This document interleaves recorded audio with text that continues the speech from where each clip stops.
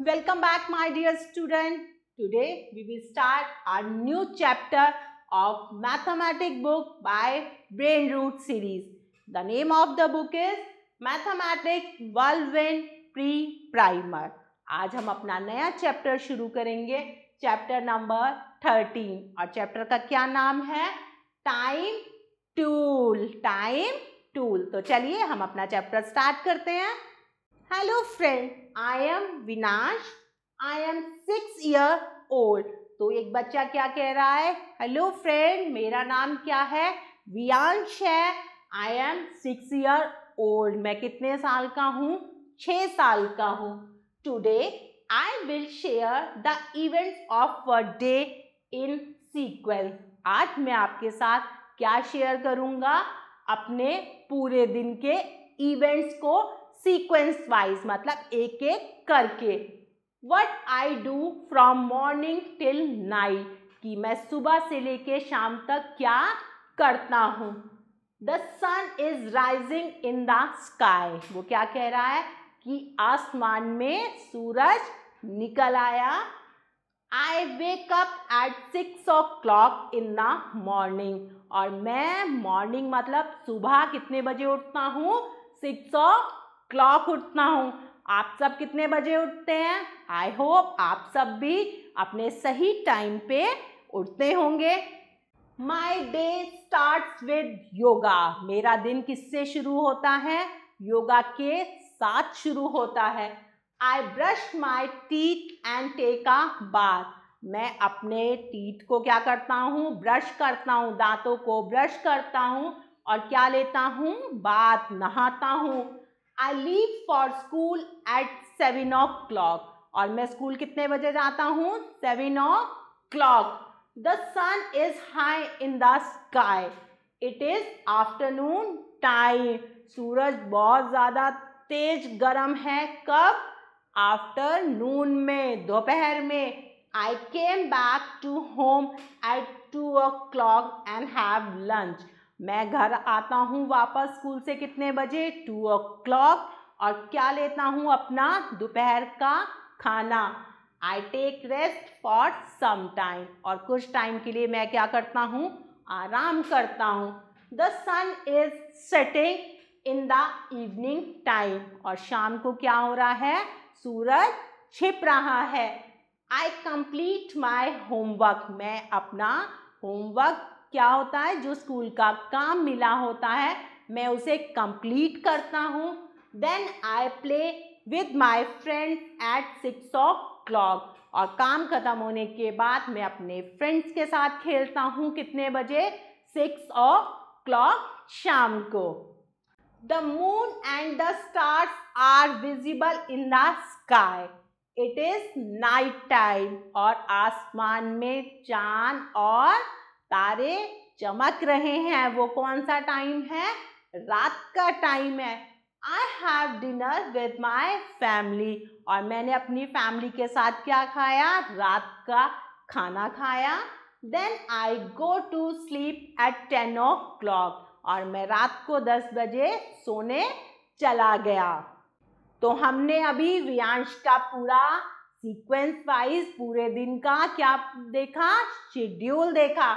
Now the time for practice right M for morning activity you do in the morning A for the afternoon activity E for the evening activities and N for the night activities आपको क्या करना है? यहाँ पे कुछ activities दी हुई हैं। आपको एम लिखना है उन एक्टिविटीज़ के लिए जो आप मॉर्निंग में करते हैं। और जो आप आफ्टरनून में करते हैं, उसके लिए आपको ए लिखना है इवनिंग एक्टिविटी के लिए आपको ई e लिखना है, और नाइट एक्टिविटी के लिए आपको क्या लिखना है? एन लिखना है। तो ये प्रैक्टिस आप खुद करेंगे you have to do by yourself next question tick right the correct activity जो एक्टिविटीज़ दी हुई हैं यहाँ पे, जो सही एक्टिविटी है, उस पर आपको क्या करना है?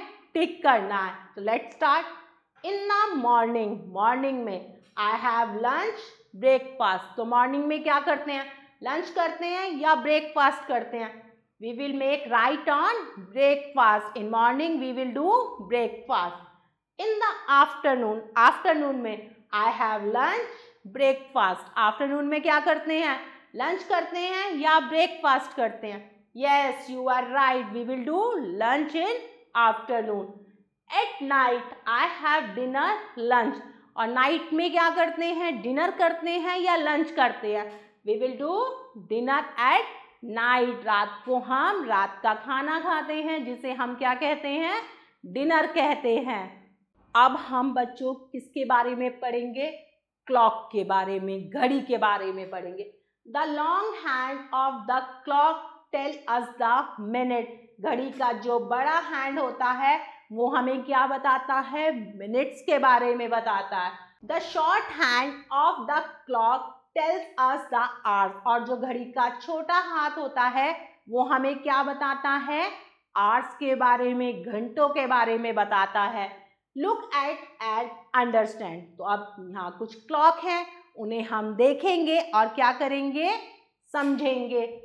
तो फ़र्स्ट क्लॉक तो उसमें कितना टाइम हुआ है? थ्री ओ क्लॉक आपको कैसे पता चलेगा ये? बिकॉज़ जो छोटा हैंड है वो किस पर है? ट्री पर है. वो हमें किसके बारे में बता रहा है? आर्ट्स के बारे में. और बड़ा हैंड किस पर है? ट्वेल्व पे. तो क्या टाइम हुआ है? Three o'clock next same है. छोटा हैंड किस पर है? सिक्स पर. और बड़ा हैंड किस पर है? ट्वेल्व पे। तो क्या टाइम हुआ है? Six o'clock the next one small hand is on ten and the bigger hand is on twelve तो क्या टाइम हुआ है? टेन ओ क्लॉक समझे आप? आई होप आप सब समझ गए। Write the time below each clock अब क्लॉक में क्या है? टाइम दिया हुआ है, लेकिन आपको क्या करना है? इस टाइम को खुद लिखना है कि कितना है? तो चलिए एक मैं आपको करके दिखाऊँगी। Small hand is on one and the bigger hand is on twelve तो क्या टाइम हुआ है? ये बजे हैं one o'clock so now the next one तो स्मॉल हैंड किस पर है? फोर पर और बिगर हैंड किस पर है? ट्वेल्व पर. तो क्या टाइम हुआ है? Four o'clock next two you will do by yourself draw the hands of the clock to show the given time यहाँ पे कुछ क्लॉक्स दी हुई हैं, उनके नीचे क्या दिया हुआ है? टाइम दिया हुआ है। आपको क्या करने हैं? क्लॉक के हैंड बनाने हैं, दिए हुए टाइम के अकॉर्डिंग तो पहला टाइम हमें दिया हुआ है टू ओ क्लॉक तो हम क्या करेंगे? सबसे पहले हम स्मॉल हैंड बनाएँगे टू पर, और बड़ा हैंड कहाँ बनाएँगे हम?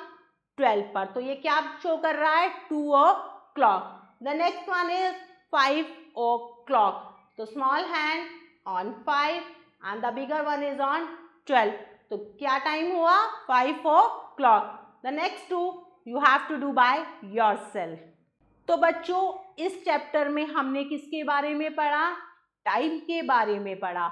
आई होप आपको ये वीडियो बहुत अच्छी लगी होगी.